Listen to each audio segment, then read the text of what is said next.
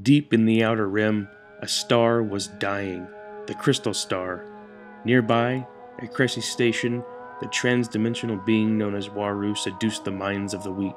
A cult was risen, the worshippers at the altar of Waru. The gold plates on his being made all who gaze upon him awestruck, but underneath, nothing but gory muck, the ichor of lies deceit. A murderer. Popular YouTuber and EU genius, Matt Wilkins, stands behind this foul beast, and on this election year, he has officially given his endorsement. For Waru. Life as we know it will be changed forever. Oppression will be brought upon the land. The world will end as we know it. Nothing but ash will remain. You can help stop Waru.